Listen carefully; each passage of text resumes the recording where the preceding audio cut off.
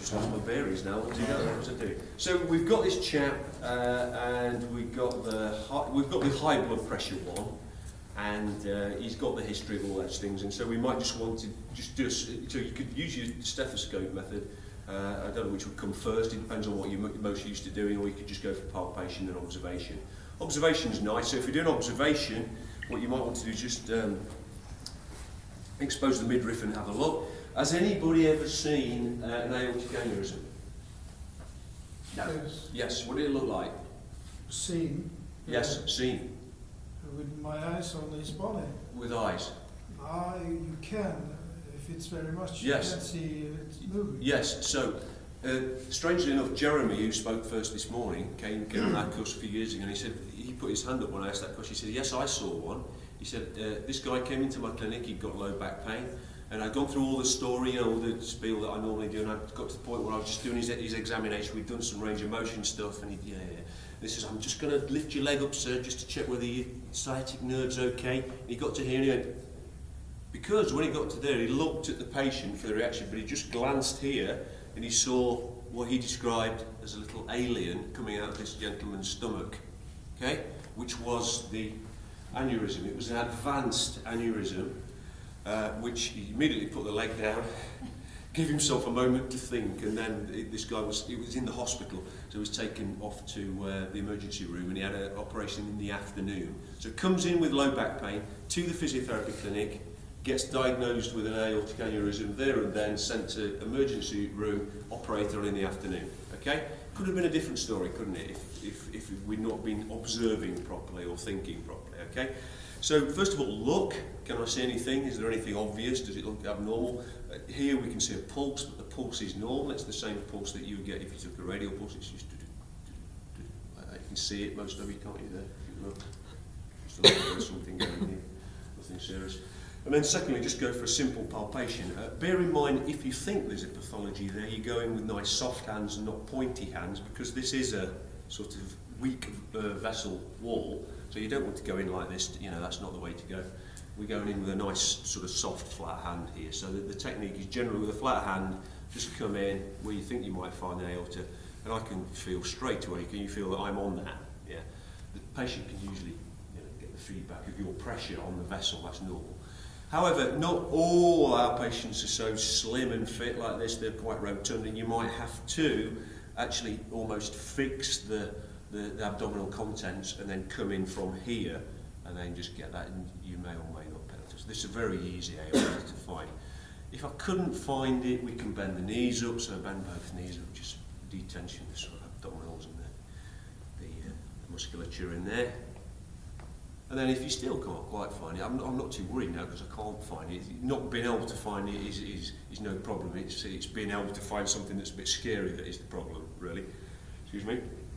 But if you're still struggling, we're going to take a deep breath in and then a deep and then breathe out. So then I just follow the breath, let the di diaphragm move out of the way, and then I should pick it up quite easily. Then, so you, I've been able to pick it up the whole time, but in, in, in a bigger patient, sometimes you have to search around. And if I'd still not found it after all that palaver, I'm probably fairly sure that it hasn't got an aneurysm. To be fair, if you do just lay your fingers on though at the beginning, and you just think, oh what are you feeling for? Well, you're feeling for an abnormal pulse, actually. If you've never felt one, you won't know what it's like, but the description is a fluttery kind of pulse, so not the dun dun dun dun it's a kind of pulse. And bizarrely enough, we did find one on one of our courses in England. We got, you're fine by the way, don't worry.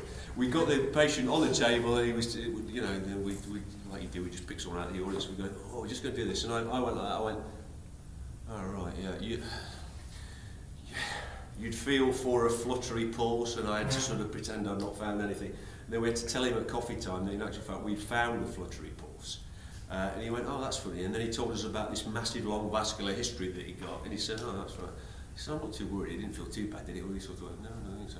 Um, anyway, he went to his GP and he, he had an ultrasound scan and he was found to be a, a four and a half centimetre diameter uh, aneurysm and he goes for a check every year. He's an osteopath in England, he goes for a check every year. So he, he thanks us for saving his life now. Yeah, yeah only joking. Okay, so you may, you may or may not find one uh, as an incidental thing. Okay, so, uh, and that's all there is to that really at the end of the day. And if we found it, we send patient back to the GP. The GP will do an ultrasound scan. He'll try and work out what the diameter was. If it's a dangerous one, they'll send them for surgery. If it's just a four or four and a half or even five, they'll just send them for an annual scan. Now, it doesn't mean I can't treat him though.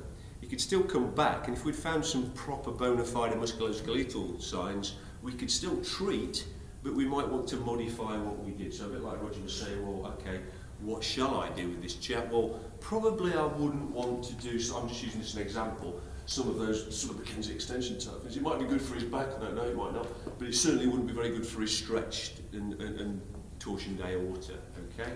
we might not want to put him into full rotational torsion because we might be torsioning the aorta as well. Yeah, does that make sense? But there's loads of other things we could do quite safely. I'm sure we could, you know, various manual therapies, acupuncture, you know, electrotherapies, etc., etc. So because we've got loads of tools in our armoury as physical therapists, we should be able to find something that we can safely uh, use as a treat, treatment method with, with this particular patient. Does that kind of make sense? So we're going very quickly I understand, but you're happy with that so far? so two ends of the scale, the really dangerous one that needs to be sent out of your clinic immediately because they need a surgery, or the one that you're a bit worried about, you throw them off, they get monitored, and then they come back to you because they've still got back pain, and you think there is a component of musculoskeletal as well, in which case we modify our treatment methods. Okay, so that's the first one. Um, let's take you to the other end of the spectrum now. We'll just give you a couple of examples just to get your head around this. So that was an older age, atherosclerotic, um, classically atherosclerotic, profiled patient. Okay, so that's the first one. Let's take you back to something more realistic, perhaps, for you in your clinics here with all you fit people here in Norway. An 18-year-old footballer who complains that when he runs in the middle of the pitch, he's a midfield player, he runs backwards and forwards on his toes and he's doing this and this. He gets some calf pain and his foot, feet go a bit tingly and his boots feel a bit tight. Okay?